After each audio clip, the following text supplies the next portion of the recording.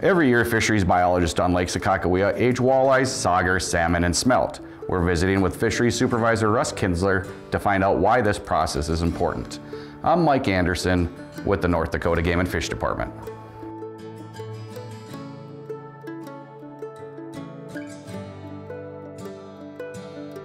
Russ, how do you go about aging these fish on Lake Sakakawea? Every year in July, when we do our annual test netting, we pull some otoliths out of a lot of the walleye we catch. Um, they're already dead, so in order to gain more information from information from them, we we pull the otoliths, which is basically the inner ear bone, small little bone. We take that out and then we'll just put it in a vial with the lengths of the fish, and then in the winter, now we come in and I'll take that otolith, and if you crack it in half, it's got rings on it that look similar to a tree. They're hard to see when you just crack it in half, so if you put it over a candle and burn it, it makes the rings separate and jump out. So you can put it under a microscope and then you can count those rings or the annuli, basically how old the fish is, and get an age from that fish. Um, so it's, it's simple as that. How many fish do we do, walleyes do we do on an annual basis? On average, it's about 1,500 fish a year uh, that we age. Um, which on Lake Sakakawea, when you think 1,500 fish, that's really a pretty small drop in the bucket. I mean, there are lots of walleyes in Sakakawea, and taking 1,500 out doesn't hurt the population. Is this process important to managing the fishery? Yes, by, by getting the uh, ages of the fish, we can look at and say, are we missing a year class? Did, did we not have natural reproduction?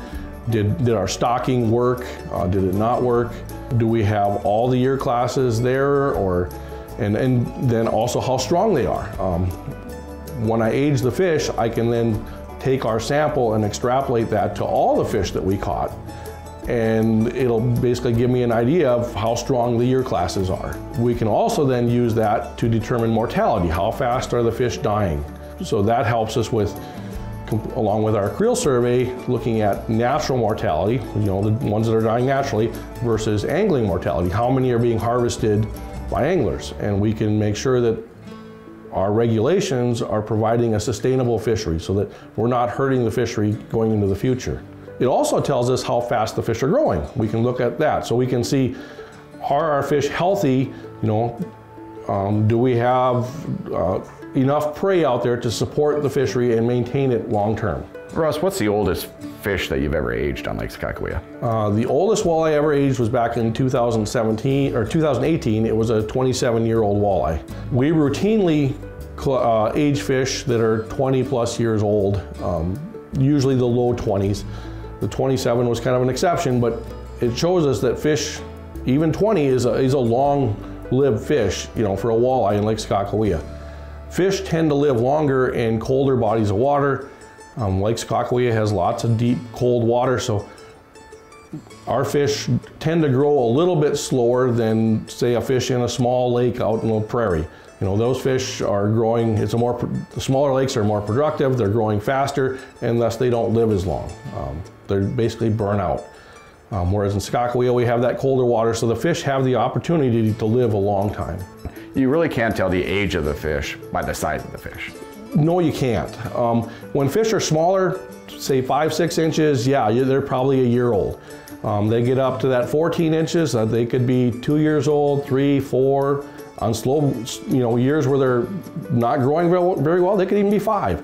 So as that fish grows and you know even gets up to 20 inches, now you're talking a fast-growing fish can reach 20 inches in five years.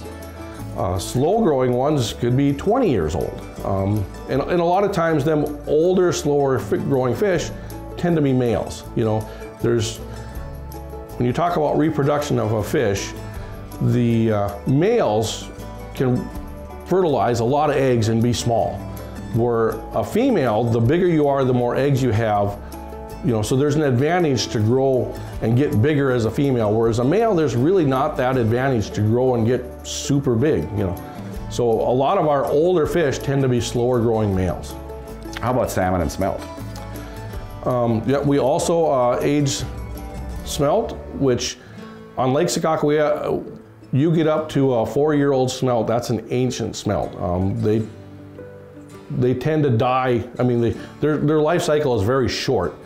Um, the bulk of our smelt are one, two, and three year olds, and then once, like I said, once they hit four, they tend to be dying off. Now we have aged a fish, a smelt out to age nine, so they can live fairly long too, but it's it's pretty rare um, to see them much over four. Um, salmon, we have just started uh, using otoliths to aged salmon. Um, historically, we've used coded wire tags, so we have we know how old they are because when we tag them, we have started to use otoliths as to try and find an easier way of doing that, a little cheaper way. Um, and the, the tags are helping us to learn how to do that because we have known age fish, so we can look at the otolith, age it, and then say, did we get it right? You know. So we have just begun using otolith to age salmon, and our salmon are, are short-lived fish too. You know, the males are one, two, three years old, females two, three, four years old, so they don't live real long, so it, it makes the e- aging a little easier. How do anglers benefit from you guys aging these fish? By us aging the fish, we're able to monitor the population better to see, you know, is their growth good? Um, do we have all the age classes out there? So it just helps us in determining whether it's a stock or not stock, you know, how many to stock. It, it just helps us to maintain, to make sure we're maintaining a sustainable fishery long term.